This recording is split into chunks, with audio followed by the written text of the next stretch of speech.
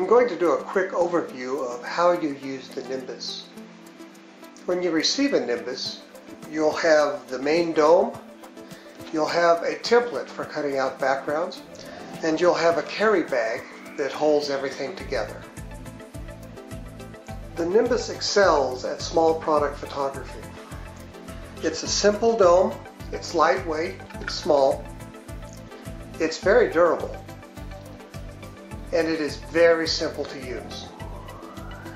We've come up with this band system that allows you to use almost any phone that has a camera. Here's how you use it. First, select something you'd like to photograph, then line it up with the dome. Then locate the camera on your phone. Doesn't matter if it's in the corner or in the middle. The Nimbus will hold both types. Just lift the band and line up.